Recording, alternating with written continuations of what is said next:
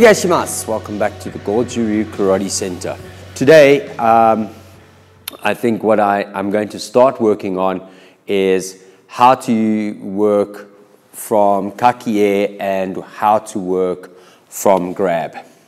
And it's uh, taking from something that was asked um, telephonically. Um, sensei on the East Rand or the eastern side of Johannesburg asked me to consider making a few videos from the grab uh, position with a follow-up punch or hook, etc., and see how things unfold. Totally unrehearsed, totally unplanned, as always. So we're going to work on the basic premise of how kakie works. So we're going to take Sanchin dachi as our stance. One hand solar plexus, other hand is catching. The hand position is like this. And as we press, our hand is going to turn out. This is kind of a direct pressing motion.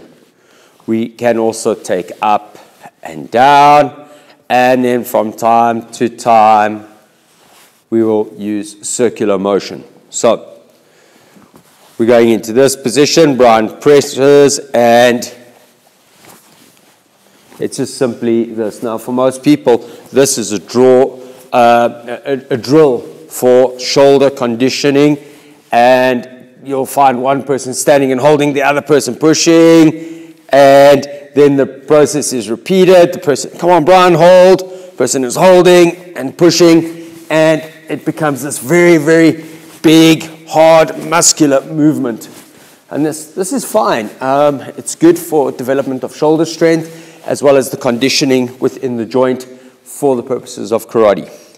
All right, so we're in this kakie position, we're holding, and now if I'm holding and Brian pushes, now he holds, now he punches. Okay, so he does a Jodanzuki, one, two. And so here's our first bunkai from Gekisai Ichi, block, clear, and hitting or striking as we go. So let's do that again. So Brian pushes, he traps my arm, and he hits with that hand. You must hold this arm down so that you've got control. Okay. And he's trying to whack me in the face. Okay, so let's do that again. He's going to push, hold, hit. Okay, I'm going to allow my hand to slip from his grip. One, two, three, four. Now, that is with limited foot movement. And what we can do is we can build firstly in a static position. So one, two, three, four. And then build the idea of changing the direction and moving. Okay? And I could probably even go this way, which gives me another option, but I have to be vigilant of that hand. So first bunkai of Gekisai Ichi from kakie position. Okay, so again, he's going to assert, he's going to take a shot, and I'm going to redirect. Come on, Brian, assert, shot, redirect. Another idea, he pushes and he kicks. One, two, and away we go.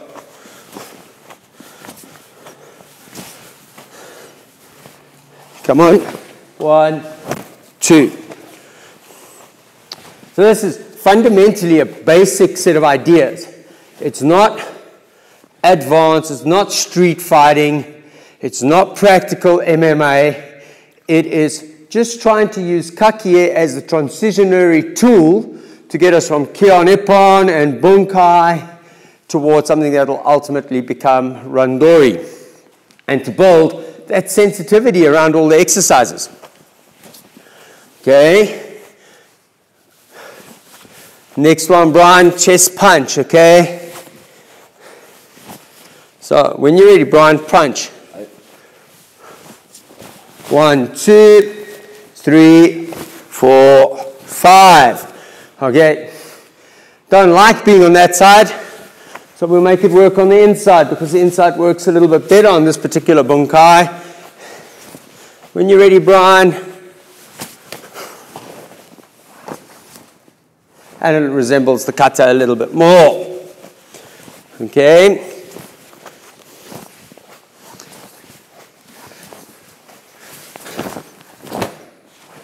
So we're getting a good idea.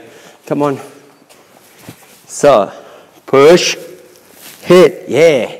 What are you doing with the push? Moving your arm out the way. Okay, so, all right. Hey, and uh,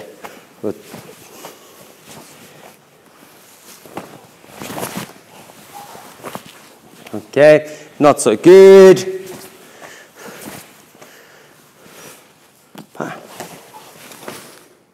But better. Obviously, that's got a really, really nice play on it.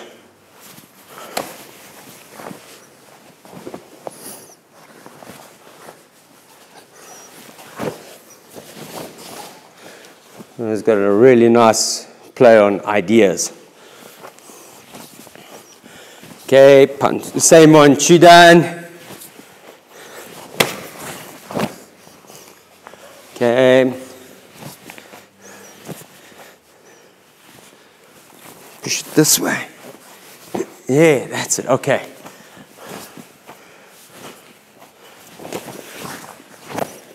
All right, and so it becomes that much harder to do than just the standard bunkai. It's a step up, and it obviously needs work and polish um, as we go. But I like to play with the idea of kakie at first because it helps us to get the idea of what's happening with the hands. So we're going to work on the bunkai now for Gekisai Ichi, and we're going to work from a grab. So if I'm minding my own business and Brian grabs onto a hand, and then he takes a punch or a swing. Now I have a limitation or an advantage. He has a limitation or advantage depending on how you view it. And he takes the punch. One, okay, two, three, four. Let's have a look. One, two, three. So just bring the arm up. One. Let's start with that. So one, hook, two, three. Better idea. Let's go again. I, I like to add the turn in. The first move of the kata is the turn. So one, two, three, first idea, and again, one, two, hook, three, four, second idea, and grab on, one, two, hook, punch, and take another hook. Ah, it doesn't matter. High punch, okay? Let's do it again. So, one, two, three, four, five. And we start getting a couple of more interesting ideas. Okay, same thing. We're facing each other. He grabs on. He's taking the hook. One, two. Okay. So I literally have yanked my hand that way to help facilitate the block. So as he hooks, one, two, three. Okay maybe better that if he's hooking and I want to stop this, I, I'm, I'm,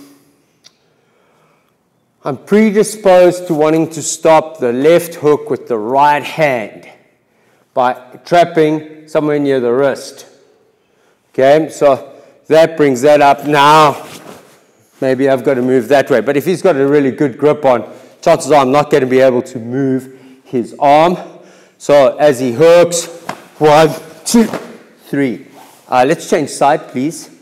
So he does one. I'm using the shikodachi and this arm position here and dropping the elbow in before I'm using that. I'm just thinking of ways to hurt him more than anything else, but to work out of this grabbing position. grabs onto my hand, and he does chest punch, easy, arm, knee. Okay, maybe grab that way. Okay, now chest punch. Ah. Hmm, grab again.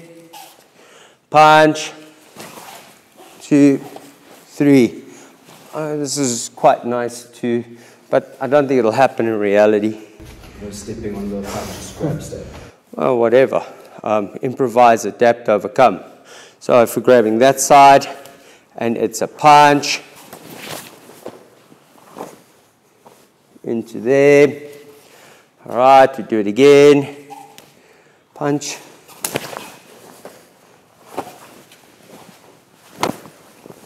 Use clear head. Okay. I like that. okay, one, two, okay, foot's there already. Um, still got that hand. That hand's probably gonna hook or and a nice place for us to deal with problems. Okay, he grabs on, punch one, two, three. Um, I've entrapped his arm one side and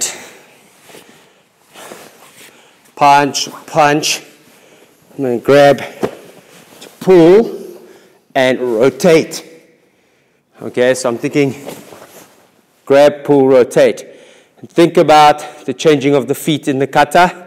Let's just go this way a bit, Brian. Think about the changing of the feet. You come up, down, and we have somebody on the ground. Okay, let's do one, two, three, four. And just try and move around your opponent a bit more than anything else. Punch.